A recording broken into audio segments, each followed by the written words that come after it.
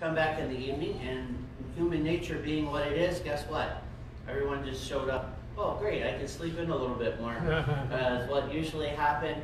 We really encourage you. Um, take the opportunity to take advantage of learning as much of the Word of God as you can. And Sunday school is a great opportunity. Also, Wednesday night Bible study, 7 o'clock here. Uh, or you can join us. Some people work until a later time. It's really hard for them to be able to feel like they can get home or even get something to eat and show up. Uh, join us through Facebook Live or through Zoom. Uh, you can join either way. And in the day in which we live, we don't need less of the Word of God. We need more of the Word of Amen. God in our lives. And uh, Christians seem to be retreating rather than advancing. And uh, we need to stop. We need to set our feet, plant it, and we need to grow. If you want to see America change, it's not going to change through the White House. Going to change through us, the church, becoming what God wants us to be. So, really strongly encourage you to uh, really take advantage of the opportunities that God has given to you uh, in these days. Because I'm going to tell you, folks, if election goes one way or another, you may not have those opportunities like you do now. Right. So, really want to encourage you to take advantage of what God is offering you and enabling you to be able to do. Our other one is going to, our other announcement was this coming Wednesday. Uh, we still probably might be able to put a Bible study to it. Uh, for a while, the coronavirus was spiking, and now they're saying it's receding nationwide. Numbers are dropping. Uh, they're wondering, and so what we want to do is we wanted some input on, on the fall schedule.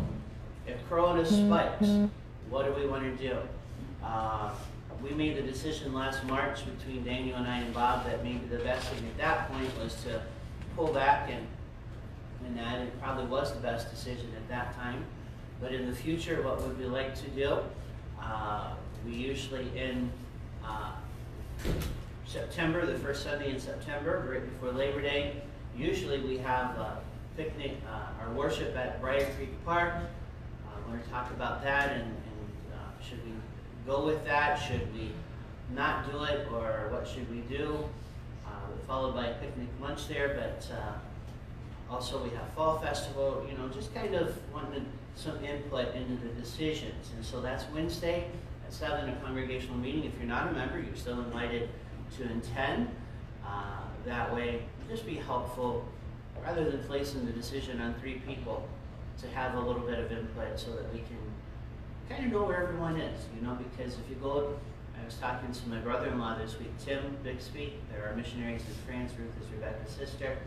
He said they've been in different churches throughout their time home in the last couple of months. He said one pastor said, uh, you cannot believe how much strife there has been in the church just to try to come back one little step at a time. We are blessed that we have not had that because a lot of churches are really going through a really hard time. So we are very blessed uh, that way. Uh, and again, if you aren't able to attend a service, if you're not feeling well, or if uh, something, you know, whatever it might be, we do stream those services uh, through Zoom and through Facebook Live, so you can uh, join them that way. They are later uploaded to YouTube, Bethel Bible Church of Berwick, and you can take advantage of going through and viewing any service that you don't aren't able to attend uh, that way. So, all the announcements for this morning. Let's start with number 333. Number 333, we'll sing this through twice this morning. Number 333.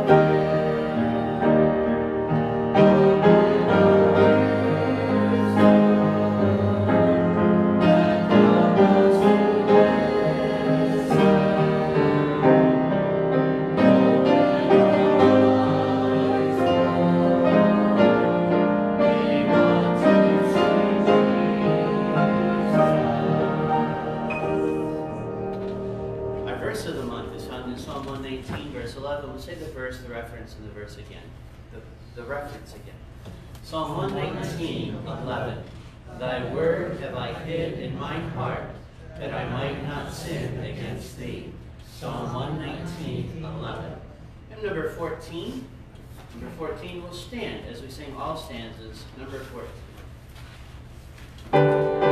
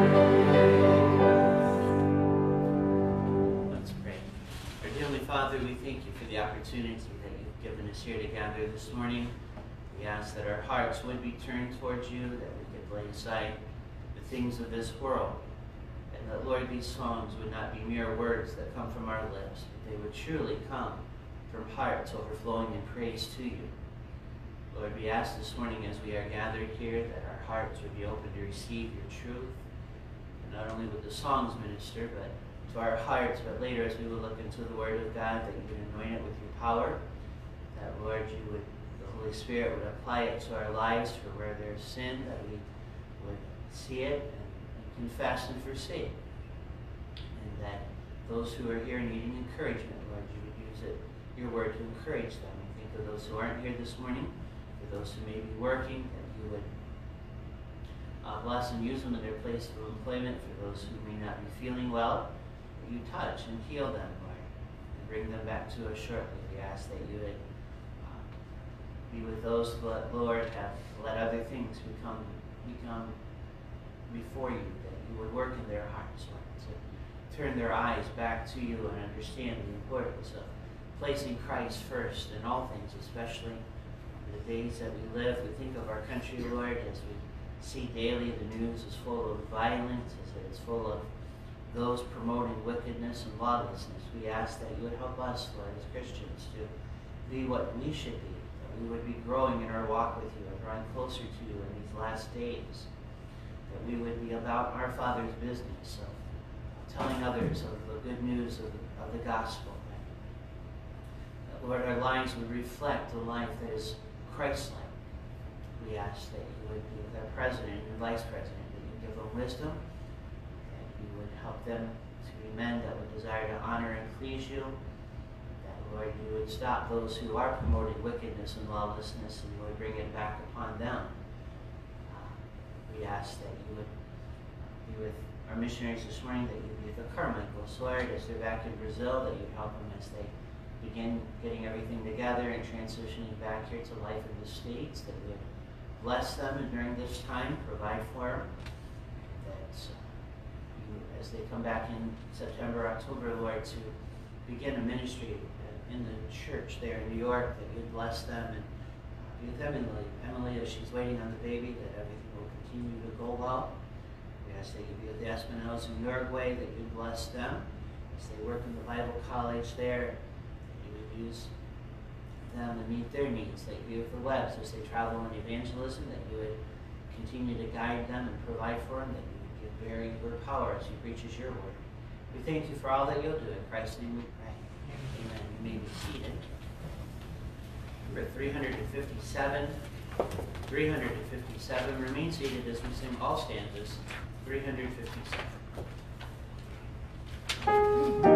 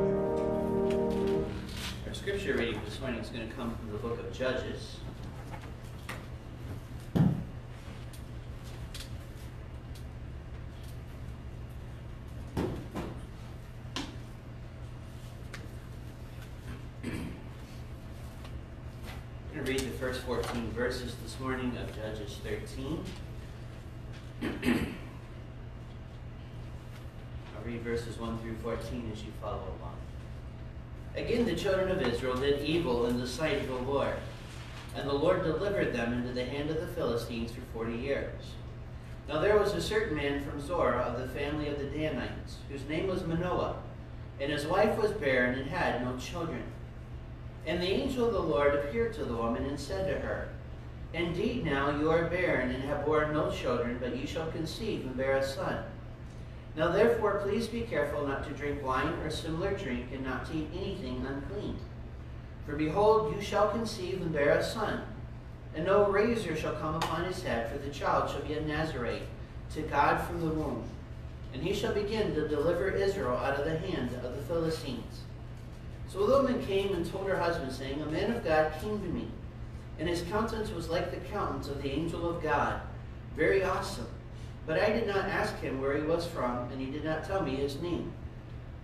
And he said to me, Behold, you shall conceive and bear a son. They'll drink no wine or similar drink, nor eat anything unclean. The child shall be a Nazarite to God from the womb to the day of his death the Manoah prayed to the Lord and said, O my Lord, please let the man of God whom you sent come to us again and teach us what we shall do for the child who will be born. And God listened to the voice of Manoah, and the angel of God came to, came to the woman again as she was sitting in the field. But Manoah, her husband, was not with her. Then the, was, then the woman ran in haste and told her husband, and said to him, Look, the man who came to me the other day had just now appeared to me. So Manoah arose and followed his wife. When he came to the man, he said to him, Are you the man who, who spake to this woman? And he said, I am. Manoah said, Now let your words come to pass. What will be the boy's role of life in his work? So the angel of the Lord said to Manoah, all that I said to the woman, let her be careful. She may not eat anything that comes from the vine, nor may she, may she drink wine or similar drink, nor eat anything unclean. All that I command her, let her observe. The Lord add his blessing to the reading of his word this morning. Let's turn now to hymn number 380. Number 380 will stand as we sing both stanzas. Number 380.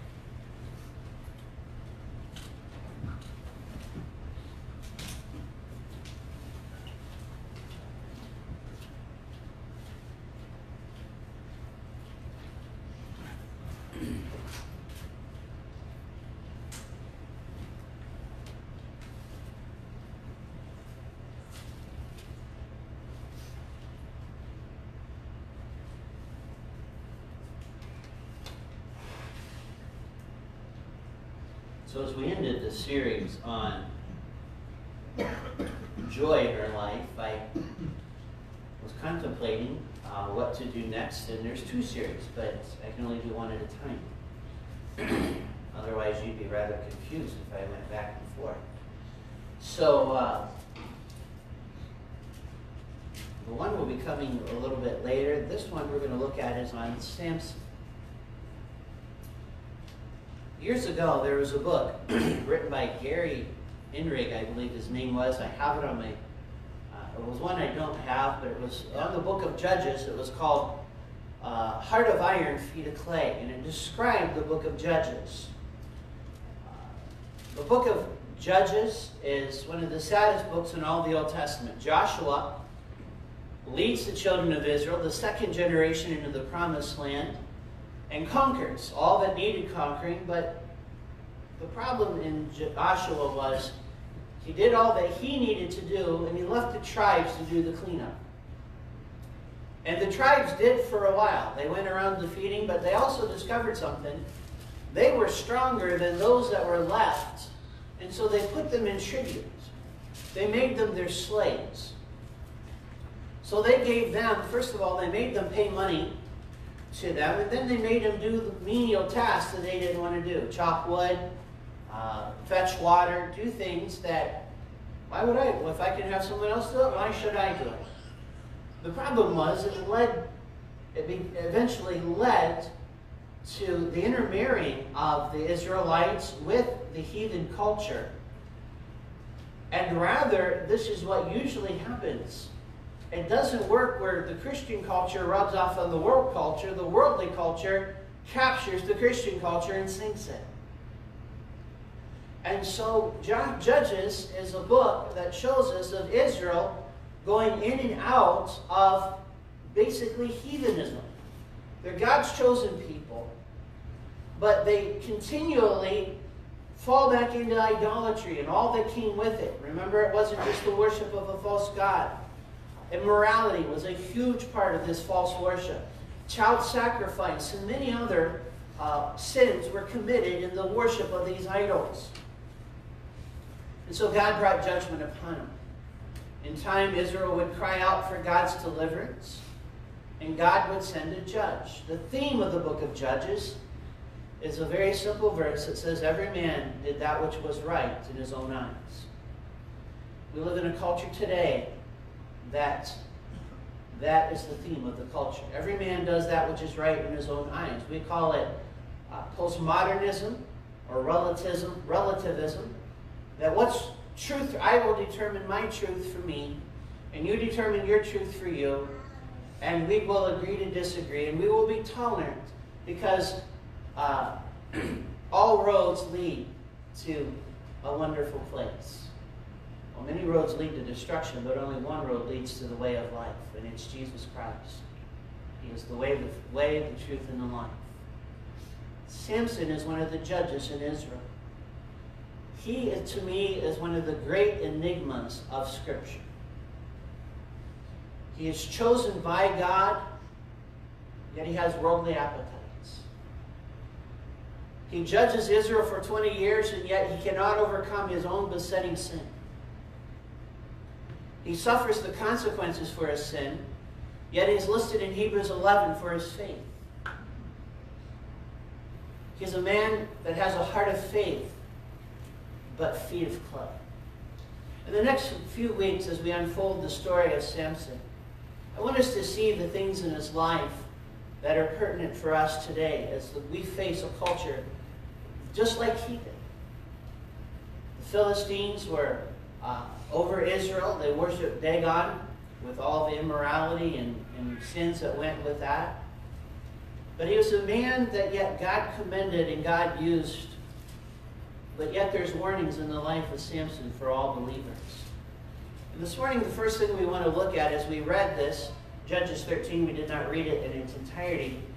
But in verses 2 through 5 that we read, God tells uh, Manoah and his wife that God is going to give them a son and that God has a plan for this son. The first thing we see from the life of Samson for us is that God has a plan for each life. God has a plan for each life. Your life is not an accident. Uh, for many years now in the public school setting, evolution has, biological evolution has been taught as truth, that uh, one day there was all these gases that came, they don't, they, they don't know where they came from, but they're all swirling around, and one day they just exploded, and the whole universe is created, and over millions and billions of years, life came to be, and our planet formed, and, and cells somehow formed in this uh, in the goop that was on the earth, and one day uh, a fish climbed out and on the land and became human, and not human, but started off this whole process, and eventually monkeys turned into man, and I, I'm telling you what, it takes more faith to believe evolution than it does believe to simply God created. It takes more faith. But that's science, and that's what's taught as truth today, and and uh, you, you must believe science. Science is always true. Yet whenever I was growing up, eggs were bad for you. Now they're good for you. Uh, this, this medicine was good for you. Now it's bad for you. So if you want me to believe science, be a little more consistent uh, about it. it well, science is man, is man observing. And man does not know everything, and man is fallible. But uh, evolution has gone out then into uh, mold society. You say, how does science, philosophy mold society? Well, the, the aim of evolution is to say there is no God. If you came, if you're you are a product of chance, there is no God. And uh, if there's no God, you can live your life the way you want to and do what you want. Every man can do that which is right in his own eyes because there's not a God that we're answerable to. And so we should be tolerant of everybody and everything. Because the Bible's a nice moral book, is basically, that's the only nice thing they would say about it, that teaches man a nice way to live, but it's not good for anything. Well, society today lives, lives just like that. Every person is a product of chance. Their future and, des- and what, what destiny in life is up to them. and uh, they can live however they want in the end, period. That's, and yet we wonder why our culture is so full of hopelessness and bent on destruction. Because if you look in Genesis, you'll see right before the flood, the earth was filled with violence. And every man did that which was right in his own eyes. Uh, applies in that in that thing in that in that setting. But also they did evil continually before God. Life is not an accident. God creates every life for a purpose.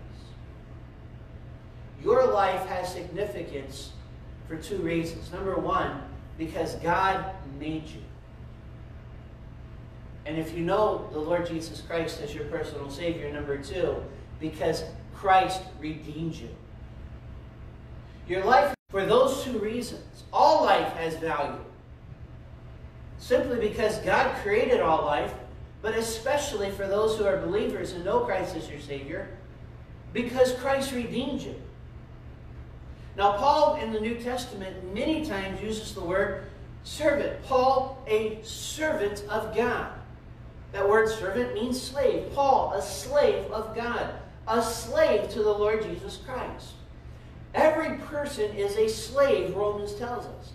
Either you're a slave to sin and the devil and his way of life, or you are a slave unto righteousness and doing the right thing. Every person, like many people, I, I like to do my own thing. I'll live my life my own way. No, you won't. You'll live it according to an evil nature if you walk apart from God. Period. Now, what is this implication from Samson for our lives? God had a plan for Samson's life. God has a plan for each life. You are his child. He made you for a reason, and he wants you to be serving him. Now, it's also, you say, but what can God do with me? Notice that this man is from the tribe of Dan, a Danite. The tribe of Dan is not a significant tribe in Israel. When you usually hear of the, of the tribes, you think of Judah. It was the one that the kings came from. Uh, the Levites were the religious instructors and leaders of, of the nation. Ephraim was known for its uh, aggressiveness. It was a very powerful tribe. Benjamin was the smallest tribe, but a very powerful tribe. Dan, Asher, Naphtali, some of these other ones aren't as well known. Some of them are more in the agricultural section of Israel. So it's when I say it's not, it's, it is significant, but really it's not a known tribe. It borders right north of the land of the Philistines. So God had a plan for Samson, no matter how insignificant his background. He wasn't from a significant family in the tribe of Dan. His mom only, he, he, she had no children up to him. We don't know if there were more or not. God has a plan for your life no matter how insignificant you feel you are or from what background you came from. But this fits in with our next verse. Look at verse 5. It says, Your son, you shall conceive and bear a son, and no razor shall come upon his head, for the child shall be a Nazarite to God from the womb. Number two, God has a perfect will for each one to follow. God has a perfect will for each one to follow. Now, the Nazarite vow was a special. Sometimes it was just for a, a, period of time, a certain period of time. Other times it was for a lifetime.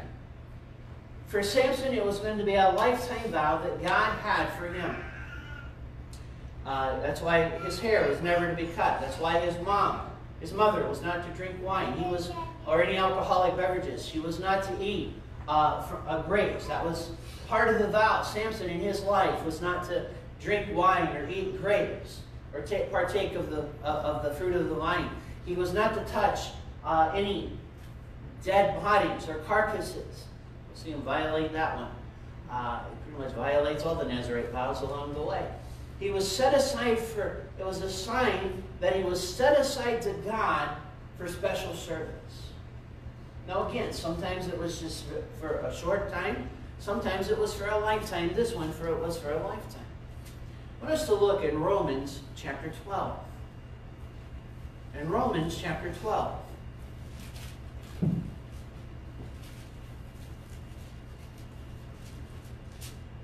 God had a plan for Samson's life, and he had a perfect will for each to follow.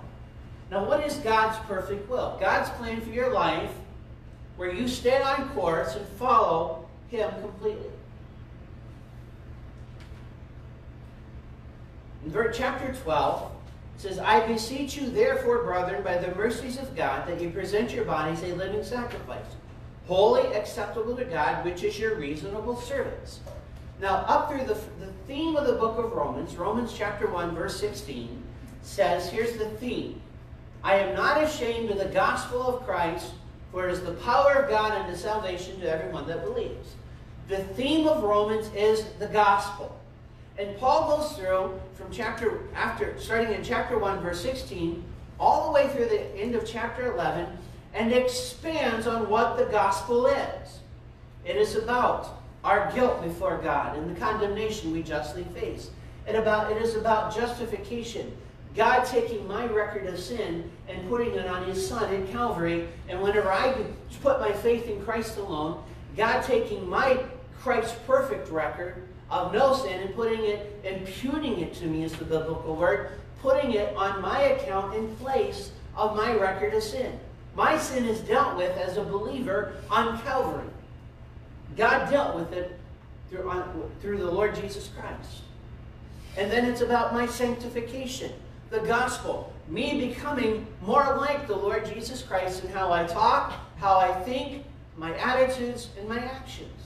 Well, then it goes on to talk about my security in Christ and God choosing me for, from before the foundation of the world. God, he goes through all the way through Romans 11 explaining all these wonderful truths of the gospel. When he comes to verse 1, he says, Therefore, because of the gospel, this is the first thing, first impact the gospel should have on the life of a believer. That you become a living sacrifice unto God, a slave unto God. God, here's me. Here's my will. God gives each of us a free will. God is not going to make us serve Him. God is not going to make us follow Him. You have to make that choice. What is God's perfect will for every believer? First of all, to become a living sacrifice. God, here I am. I don't know what you can do with my life, but that's not for me to figure out. We have to make a definite decision in time that says, God, here am I. Here's my life. You want to know the biggest problem in American Christianity today is this. Christians want to want to want God for all the goodness, but they want to continue to live their own life with their own demands. You can't have it both ways. Jesus said you cannot love, serve two masters. It was the same problem that Paul faced in his day. Why is it such a problem? Because we have a sinful will inside of us.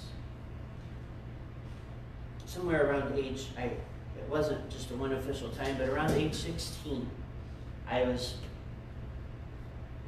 sophomore, junior in high school. And uh, I began thinking about college because, you know, when you're sophomore, junior in high school, that's not that far off.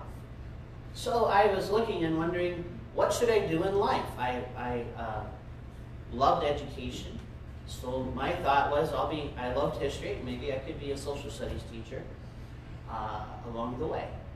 And we were going to a, a, a, church, and God began to use the preaching of uh, Pastor Rhodes and and really the personal discipleship of Pastor Holly. And uh, God used, course, my mom and my grandparents in my life greatly also. And I began to feel maybe God wanted me not in education, but maybe God wanted me to serve Him some way. And so there came a time I finally had to make a decision. And the decision was this God, my life is yours. You died for me, you redeemed it. It's yours. It's not mine to live how I want, it's yours. And so I gave my life to God, and then God showed me the path that He wanted me to go. Was it all clear right then? No. I, I, I believe God wanted me in some type of full-time Christian service. So, uh, what college to go to? I chose Bob Jones University. Uh, what major? I chose to be, uh, I believe God wanted me to be, to be a Bible major. And then what about grad school? You know, because, uh, and so I went into grad school. I said I was only going to do uh, one degree, and God says, yeah, watch this. And he sent me right through the Master of Infinity, I mean, Divinity. It took a long time to finish that thing. And, uh, well, then there's even bigger questions. Well, God, who do you have for me to marry? My mom had, uh, my dad had left my mom high and dry seven years after they were married, not quite, with two children. I knew it was very important to know who God wanted me to marry. And so God, uh, I, I, didn't realize that right under my nose was my coworker that would be, that God already chosen, but God did. God had us working at 7 o'clock in the morning, folding laundry. Let me tell you, at 7 o'clock in the morning folding laundry, you don't hide anything. You get to know a real person. And, uh, well, God, where do you want me to serve? Where do you want us to go? And God opened each door of the way. But I had to make a one-time decision that said, God, my life is yours. But here was the second part. It has to be a daily surrender at the same time. I finally had to make up my mind, follow Christ. But I had to make a second step every morning when my feet hit the floor of this life is not my life. It belongs to God.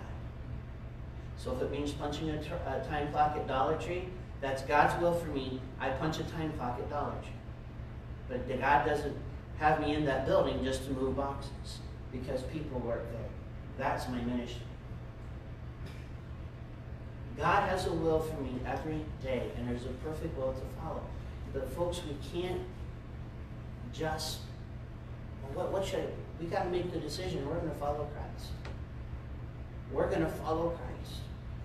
And Samson was always torn between those two. In verse 2, he says, Be not conformed to this world. Stop being influenced and molded by a culture that is against God. There's a lot of terminology out there today in, in Christian circles. Redeem the culture. Forget the culture. You get redeemed and become what God wants you to be in the culture. God wants us to be salt and light, not influenced and molded in our own opinions and our own thoughts by this culture that we live in today. Let me say it this way. You ought to know more of the Word of God than you do about pop culture. And you ought to be more influenced by the Word of God in your thinking and in your life than you are by the culture. Because that's the second effect of the gospel. And then look at verse 3. For I say through the grace given to me to everyone who is among you, not to think of himself more highly than he ought to think, but to think soberly as God has dealt to him each one a measure of faith.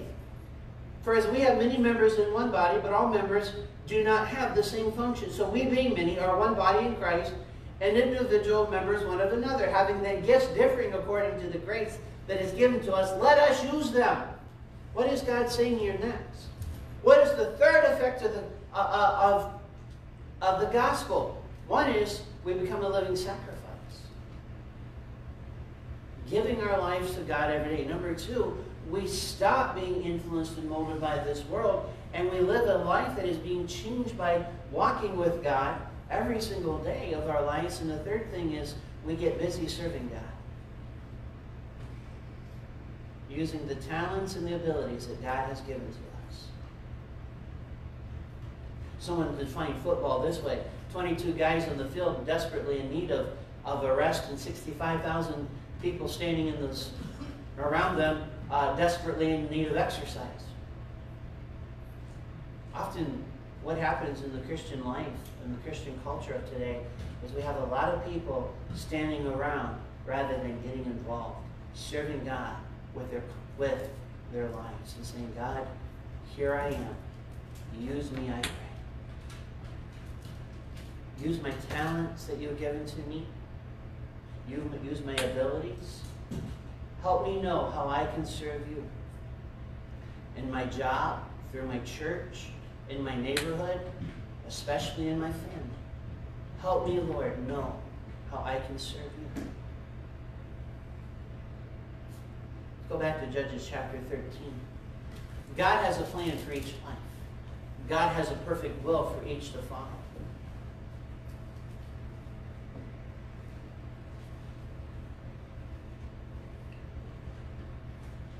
Noah and his wife were a very godly couple. I encourage you to read Judges 13 over the next day and just, just look at the faith of Manoah and his wife. Incredible. Especially in a culture, they're, they're, they're part of the Danite tribe who was right at this point overrun by the Philistines because of the wickedness of the Jewish culture. And here stands a man and his wife, not like the culture around them, but spiritually minded, spiritually focused, Christ like examples. Which leads us to number three spiritual parents do not guarantee a child's spiritual success. Spiritual parents do not guarantee a child's spiritual success. Let me say it this way unspiritual minded parents will probably have unspiritually minded children. So, how does that affect us today? Each child must make the right spiritual decision for his or her life. Parents are to mold their children for the Lord but each child must choose to be spiritually minded. There's a reason that God says in Ephesians chapter 3, Fathers, bring them up in the nurture and admonition of the Lord. Let me tell you what's the problem in American culture today. The media, even the news media, is saying, boy, it's fatherlessness. It's one step more than fatherlessness. It's unspiritually minded fathers. We need men of God who will rise up and say, by the grace of God, I'm going to be a spiritual leader and a spiritual man to those around. This is what we need. Samson had it, but Samson didn't always make spiritual decisions. Parents, you're not responsible for their decisions. We can guide them, we can mold them, but let me say to each of you here this morning, there are some of you who may have come from a rich spiritual heritage. Thank God that you did and take advantage of the fact that you did. And there may be those here this morning, you didn't have spiritual minded parents. But let me say this by the grace of God, you can become a spiritually minded Christian. Does everyone understand that? Samson had golden opportunities. You I, I really encourage you to take time in Judges 13 and just look at the faith of Manoah. What a godly man he was in contrast to the culture. And that's what God wants us to be. If we have children still at home, He wants us to be shaping them and molding them in the ways of Christ. And let me tell you, the number way they're going to that's going to happen is what they see, not just what they hear. Paul said, Follow me as I follow Christ. But it doesn't matter what background you came from, you can be a spiritually minded person. But you have got to be willing to be Manoah and his wife in a culture that is not living for God and not a spiritual culture. You have got to be the one to choose every day to go back and live God's plan for your life.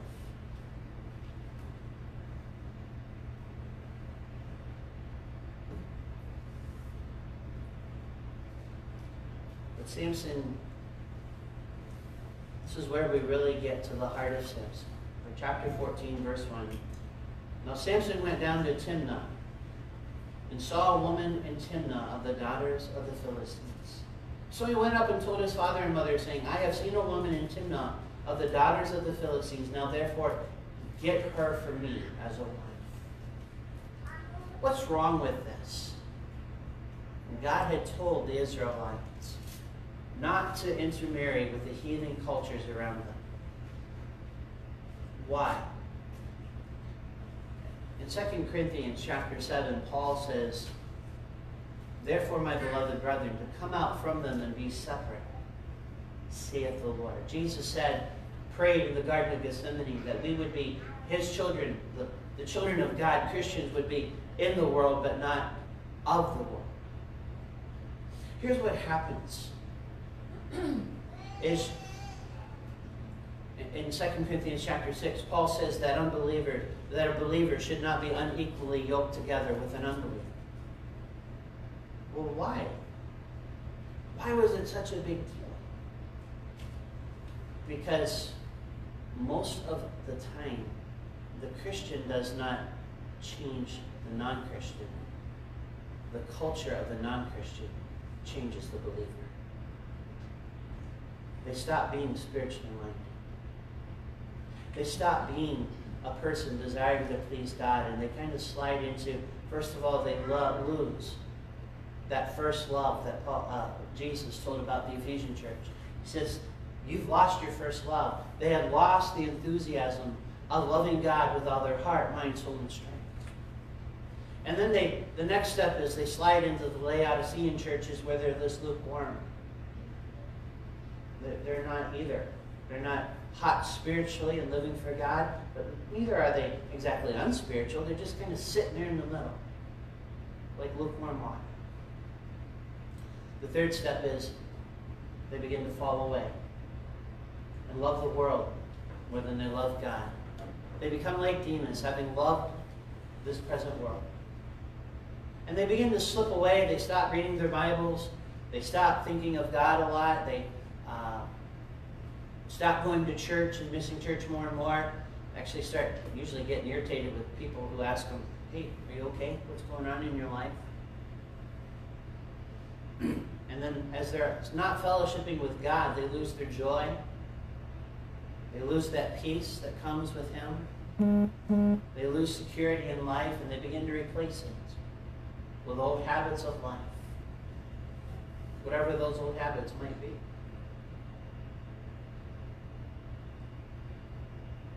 You must be weary of your spiritual weaknesses and guard your heart against them.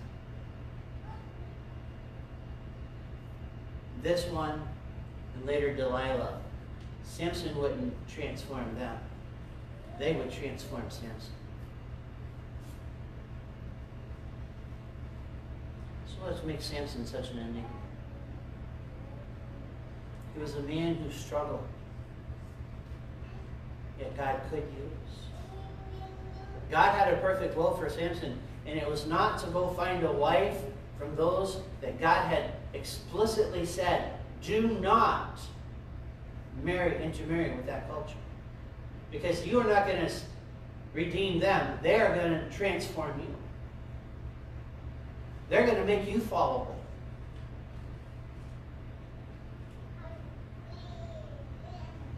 And it would become the theme or one of the, the besetting sins it would be of Samson, his Achilles heel, heel that would ultimately lead to his downfall. You see, what happens? Am I going to sin and fail God today? Yes. Why? Because I'm a sinner saved by the grace of God, yet I still have a sin nature that I battle with every day. So I have to get up every morning and say, Lord, this life is yours, it's not mine. Use me for what you can. But there's times throughout the day, yes, I feel God and I must go and say, Lord, I'm sorry. I was wrong when I said that. I was wrong when I thought that. I was wrong in that attitude. I was wrong in that action. Please forgive me. And when we confess our sin, he is faithful and just to forgive us our sin and to cleanse us from all unrighteousness. And he restores that relationship.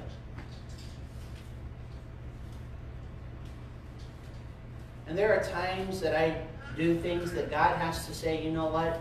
There's got to be consequences.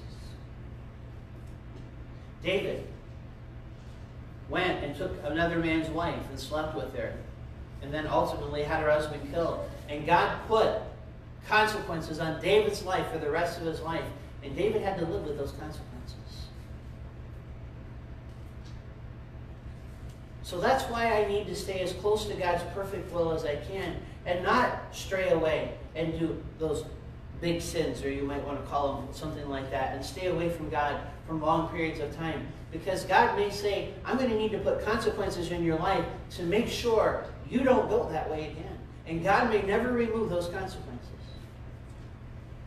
But that's where I have to learn to trust a God who knows better than I do. That's why it's important to take advantage of the opportunities that God gives to each of us. In America, we, we, we talked about this in the first part of the church service. God has given us as Americans unique opportunities. If you lived in a Muslim country today or a communist country, you could not gather in a house of worship and freely worship God without fear of persecution of some sort. In America, we are very blessed. Even though freedoms have eroded through the years, that we can still read the Word of God, that we can still possess the Word of God, that we can still come and worship together. And yet, how dearly do we hold to that? How much do we treasure the fact that we can hear the Word of God and that the government's not saying, oh, you can't say that? Not yet, at least. That we can grow in our walk with the Lord and not fear persecution. How often do we treasure that? How often do we take advantage of that? Or is Christianity something that we just take for granted? And we just kind of float and bob along. Here, we have a Sunday school starting. If you're a new believer, let me encourage you Get up earlier. And take advantage of learning the basics of Christian life. A lot of folks may say, well, you know, Sunday's a day to sleep in, and yet tomorrow at 6 o'clock in the morning, my behind will be out of bed because I got to be clocked in on the job at a certain time. If my job, if I can hold my job in that kind of, uh, of what do you call that? not whatever, huh? Priority. Priority. Why can't I hold a Sunday school class to learn more about my God and that kind of priority? My job is temporary. I'm going to be living with my God for eternity. Wednesday night.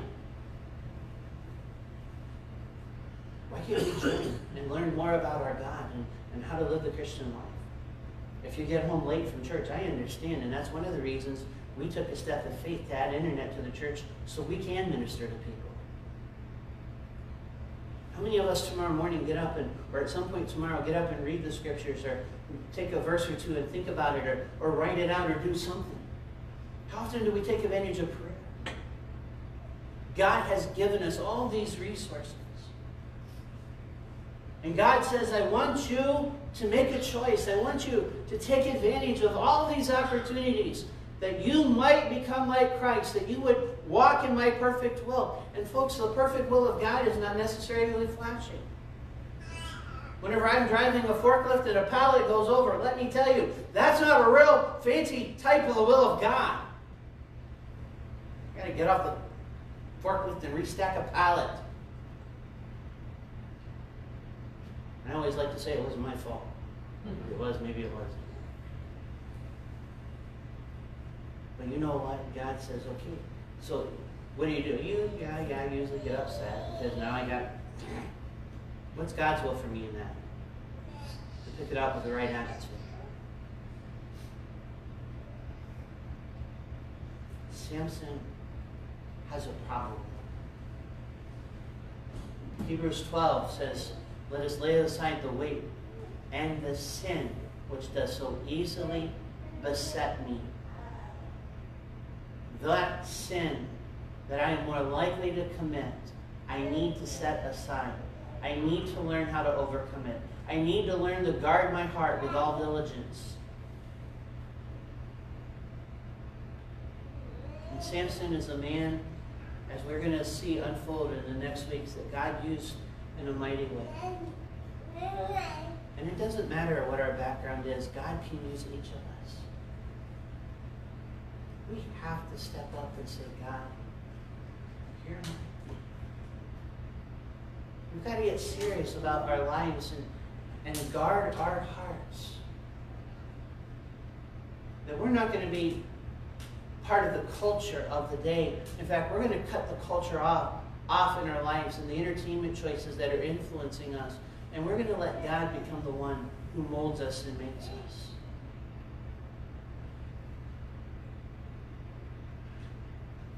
Samson is also one of the great examples of the mercy and grace of God. But folks, let me tell you, as an individual and as a pastor, it's a lot easier to avoid this than it is to get out of this. And it's a lot easier to build it, your life right the first time, rather than to have to go down, back, tear down the wrong choices, and rebuild a life. Because at that point, the damage has already been done. The damage has already been done. So what do we learn from these this morning? Let me ask you some questions in closing. Are you a Christian that is saying, Lord, here am I. You have a plan for my life. I may not understand, that's okay. Let me tell you, I don't understand what God does and what God wants from me every day. That's okay. I don't have to. He says, trust me. But have you ever finally ever just stepped up and said, Lord, this life is yours. It's not mine. You created me, you redeemed me. I want to be a living sacrifice. Then each day, you get up and you say, Here am I. This life is yours, it's not mine. If any man would come after me, let him follow me. Deny himself, take up his cross daily, and follow me. That's what I'm going to do today. I'm going to learn to say no to the old sin nature by sin nature by the power and your grace, your power and your grace. I'm going to get help where I need help so I can grow spiritually. I'm going to ask questions. I'm going to listen, not hear. I'm going to put it into practice. I'm, I'm going to be a Christian, Lord, who, who I, I want to not let the world and this culture influence me anymore. I want the Word of God to be that which shapes me. I'm going to become more faithful in a Sunday school class, to Sunday morning service, to at least trying to join on Wednesday night if I can't make it on time. So that God can transform my life. And every day, this life is yours. If you have children in your home, they need to see this every day in your life. Not by what you say only, but by how you live. And it doesn't matter what background you came from. God is remaking us all. God wants to remake you and transform you into a trophy of His grace. To make you what He wants you to be. But every one of us has that inside of us that could destroy us. A besetting sin that we must guard our hearts diligently.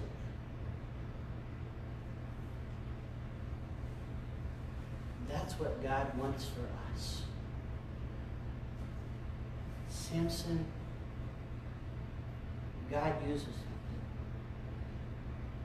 But I'm pretty sure Samson would say at the end, if I had avoided my besetting sin, what more could God have done with me? Maybe this morning you've gotten off track. Maybe some things in life have begun to slip back up. Let me say this to you. God is a God of grace and mercy. And He's waiting for you to return with repentance. Say, Lord, I was wrong. Here's my life.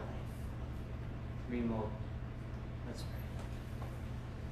Lord, we thank you for your word. We help ask that you would help us understand in the, this series on Samson, Lord, of your mercy and your grace, but Lord, let's also learn to make wise choices each day and how they affect our lives. Help us to be Christians, Lord, that are not like the culture around us, Lord. We stand out from the culture because we're Christ. We grow in Christ-like qualities and characteristics. And, and when people see us, Lord, they actually can see the Lord Jesus Christ shining through us.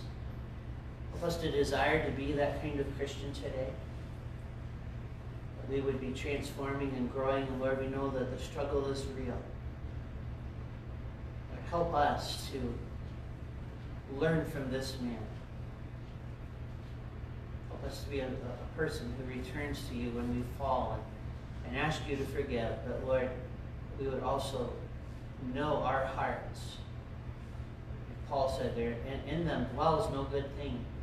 That, Lord, we would rely on Christ and, and take advantage of the things that you have given us, the opportunities to grow and our walk with you. Help us to do this each day. In Christ's name we pray.